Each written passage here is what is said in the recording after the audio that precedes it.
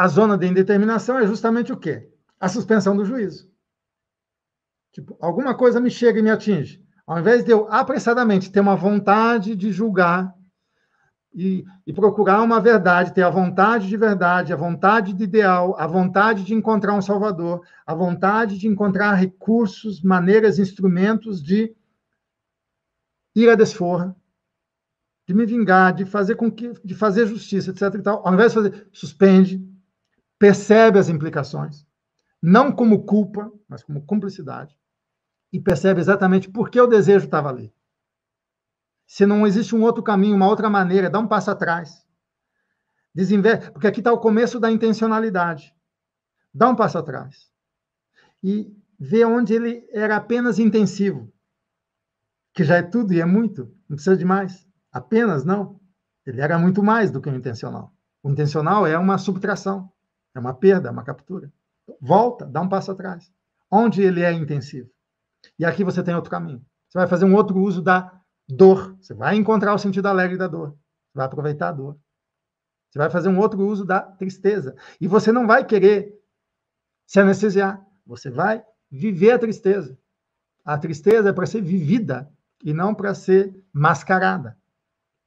Né? Ela é uma força da perfeição da natureza. E a morte vai ter outro sentido, ela vai deixar de ser morte. Né?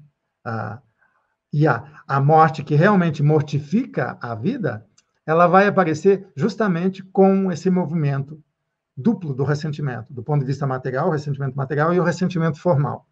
Que, na verdade, qual é o objetivo do ressentimento formal? Quando eu identifico a causa do mal, e também vou identificar a causa do bem.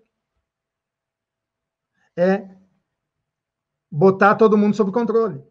Ou seja, o mal não, o bem sim. Né? O mal eu excluo, eu elimino, eu quero acabar com o mal, e o bem eu quero que ele se apresente cada vez mais. O que é esse bem? É todo o sistema de empoderamento. O bem pode ser o capital, o bem pode ser o Estado, o bem pode ser o que você quiser. Mas isso é uma fraude.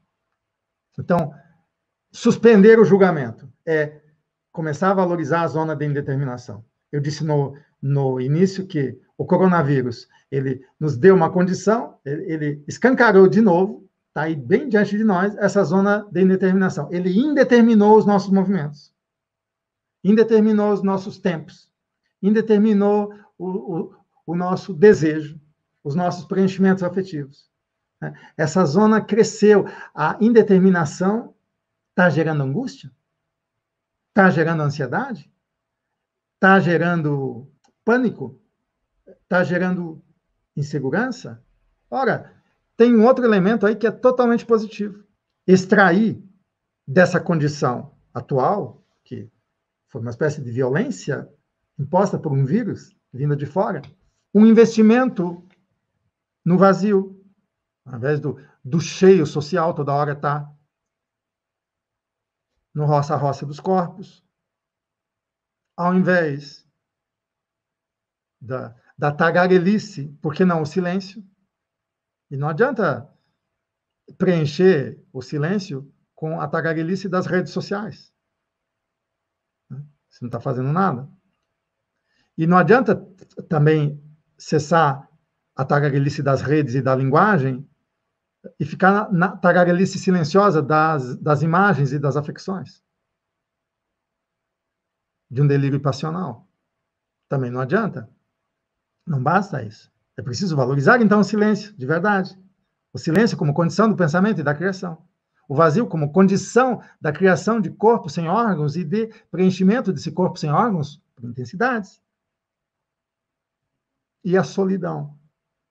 Não como abandono, nem como prisão domiciliar, ou imposição de alguma política, de uma economia ou de, ou de uma condição biológica de salubridade, mas aproveitar para criar a condição do encontro, uma solidão povoada que se potencializa, cheia de potencialidades, e por isso, quando encontra, encontra com potencialidades e não com carências, para um miserável se pendurar no outro